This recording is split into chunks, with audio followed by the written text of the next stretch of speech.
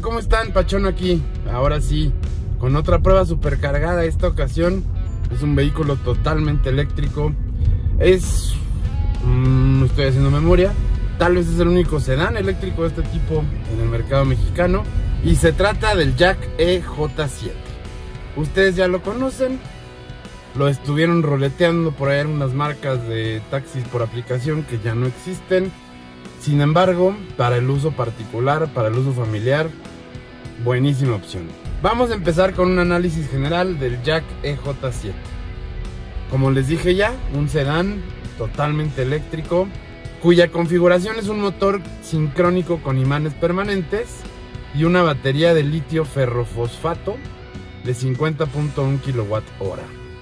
¿Qué significa esto en cristiano? Muy fácil. Un motor que produce 190 caballos, 251 libras pie de par, extracción delantera, tiene transmisión de una velocidad porque no se necesitan más, acelera de 0 a 50 km por hora en 3.5 segundos o de 0 a 100 en 7.6 segundos.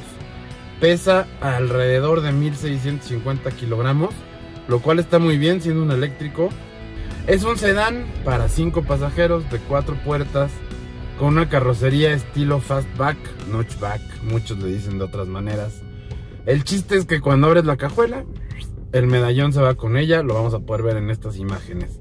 Cajuelón, por cierto, 540 litros de capacidad, más de 1600 si quitas los asientos de atrás. Bueno, si los pliegas. Mide 4.7 metros, muy buen espacio interior, a la posición de manejo le doy cuatro pachoncitos. ¿Por qué? Porque miren cómo estoy aquí despeinándome en el toldo. No se puede hacer más para abajo. Esto es a causa del techo panorámico. Una buena opción si te interesa, la verdad. Mucha gente nunca lo sabe. Eh, otra cosa es, atrás se lleva tres. El espacio para piernas es de 5, pero la altura ya vieron, está súper chaparrito. La visibilidad hacia atrás tampoco es muy buena que digamos. Sin embargo, cuando te vas a estacionar, pues te ayuda con sensores y cámara para que no la vayas a regar. Y luego hagas corajes por haberle dado un rayoncito a tu Jack EJ7.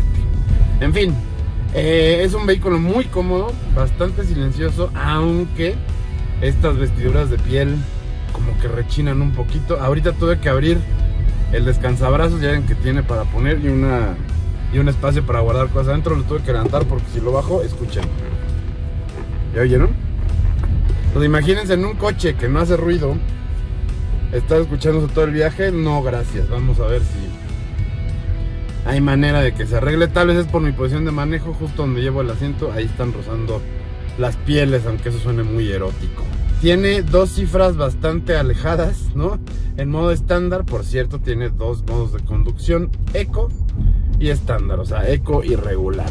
492 kilómetros Quisiéramos que empezara con 5, está cerca, pero no llega. Quisiéramos que empezara con 6, para estar más seguros que podemos llegar más lejos, sin la famosa ansiedad de rango, que por más que uno quiera, por más que uno vea 250 kilómetros restantes, pero hasta dónde llegaré y si no lo puedo cargar mañana, y hay que hacer muchas cuentas mentales que es lo que creo que no vale la pena, aún de los eléctricos, pero vamos a tenerles paciencia porque su manejo padrísimo, comodísimo, rapidísimo.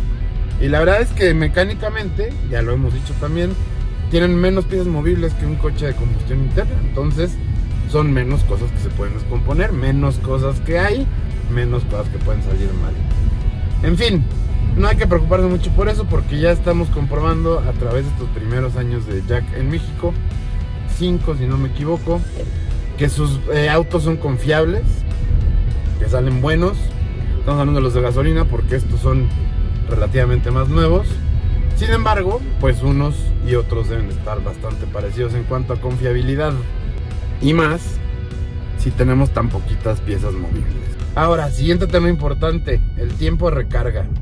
Aquí hay también dos cifras muy disparejas. Que van de 48 minutos en una carga rápida, nivel 2, hasta 8.5 horas con el enchufe de tu casa. Cuando me lo entregaron tenía 376 kilómetros disponibles. Muy buenos, ¿no? Es más o menos lo que te da un tanque de gasolina de unos 50 litros en un coche de 4 cilindros de más o menos 200 caballos, parecido, ¿no? Esa es la autonomía. Recorrí 40 kilómetros ese primer día y bajó exactamente 40 kilómetros del contador. Entonces ahí sabemos que está bien. Hoy en día, con el 61% de la pila me quedan 246 kilómetros por recorrer. Lo traigo en modo eco, lo cual hace más fuerte la regeneración. Sin embargo, no le caería mal uno de estos estilo manetas de cambios. No tenemos cambios, ya quedó claro eso. Para ajustar el nivel de regeneración de energía en tiempo real. Y si conocemos el camino, lo podemos ir ajustando. Si necesitamos potencia, le bajamos. Si necesitamos más carga, le subimos. Si vamos a bajar una pendiente, pues aprovechamos y nos vamos como trailero con el freno de moto. Tiene 6 airbags suficientes de cortina, frontales, laterales. Tiene control de estabilidad, tiene asistencia de frenado electrónico y tiene asistente de arranque en pendientes. No hay asistencias avanzadas aún en este coche, tal vez en una versión Pro posterior o en una nueva generación, lo veremos, pero por el momento eso es lo que hay, suficiente, bien para la prevención y bien para la reacción en caso de un accidente. Además, en cuanto a confort, tiene mi función favorita que es el auto. Ya saben, pisan el freno, ahí se queda el coche, hasta corren a pisar el acelerador, ustedes pueden soltar el pedal de freno. Cruise control, el más normal, ajustas la velocidad que quieres y ahí se queda el coche. Tiene iluminación LED por todos lados, incluso la diurna. Eh, luz de bienvenida en las puertas, te pone tu tapetito luminoso que dice Jack. Techo panorámico, ya lo comentamos, lo único que hace es quitarle el espacio para la cabeza, para uno que es de panza larga. Rines de 17 pulgadas. Eh, Apple CarPlay y Android, pero solo con USB. El tablero de instrumentos es de 10.2 pulgadas, es decir, es una pantalla. No hay nada analógico de este lado. Y eh, la pantalla de infoentretenimiento táctil es de 10.4 pulgadas en posición vertical. Ahora, de esto les quería hablar porque ahí es donde Jack, queriendo hacer, queriendo subirse al tren de todo lo vamos a hacer digital, creo que olvidó dejar unas perillas o unos botones que son muy importantes. Sobre todo cuando vas en marcha como ahora. Si yo quisiera cambiarle la temperatura, tengo que apretar dos botones. Que con estos baches que hay, quién sabe qué voy a hacer si quisiera cambiar el modo de conducción, tengo que meterme a tres submenús, distraerme. Ahorita le están, mientras estoy hablando estoy enseñando cómo hace y cuánto tarda y cuánta es la distracción, ¿no? Y eso no está bien, debería haber un, un botón en el volante, como hay varios, es multifunción. Pues aquí pongo uno de modo de manejo, rápidamente escojo entre eco, estándar son dos, no había que complicarse más. En cambio, aquí está todo lo que tengo que hacer. El sistema de audio bien, cumple, no tiene marca. Son bocinas, al menos veo 6.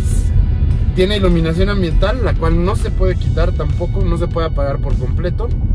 No sé si sigue el beat de la música o solo tiene patrones de flasheo, pero ahí está toda la noche, iba a decir todo el día, pero no, no es cierto, todo el día no se ve. Tiene pocos plásticos duros y los demás son de muy bonita textura, suavecitos, justamente texturizados, como de ladrillitos, se los voy a enseñar también, ahí está. Tiene costuras contrastantes. Eh, los asientos son de piel de verdad, el tablero es de piel sintética y tiene un bonito contraste de color entre café y negro que se ve elegante, sobre todo con este coche que es blanco por fuera, muy bonito. El diseño llama la atención. Como les dije al inicio, es un coupé de cuatro puertas con cajuela notchback lo cual lo hace bastante único en el mercado, una oferta interesante. Si no te interesa tener lo mismo que todos los demás, este jack existe también de combustión interna con motor 1.5 turbo.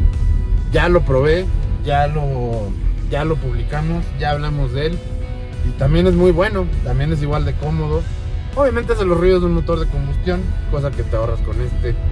Obviamente tienes que ponerle gasolina al precio que esté, a este no. El precio del coche, del Jack EJ7 2022, 764 mil pesos, que incluye el precio del cargador cuando lo compras está por arriba de la media del segmento de sedanes medianos, grandes, familiares. Sí, porque es eléctrico, ya saben, a 4 o 5 años todo lo que pagaste de más te lo vas a haber ahorrado de gasolina. Así que es el chiste de este coche. ¿Estás listo para vivir con un coche eléctrico que se puede tardar hasta 8 horas en recargarse? Adelante, es una buena opción. Te lo recomiendo. Velo a ver, considéralo. Y no tiene rivales. Así que déjame tu opinión, tus comentarios. Tú dime qué opinas de este coche, de estos coches. ¿Ya le quieres entrar a los eléctricos? ¿Ya estamos listos? ¿Todavía no? ¿Te vas a esperar? ¿Los amas? ¿Los odias? ¿Qué dices? ¿Cuál es tu marca favorita? Todo eso queremos que nos comenten, déjenos su like, véanos en los programas en vivo. Y muy pronto les traemos otra prueba supercargada. Yo soy Pachón, estos gordos al volante, esto es el Jack EJ7. Espero que lo hayan disfrutado. Adiós.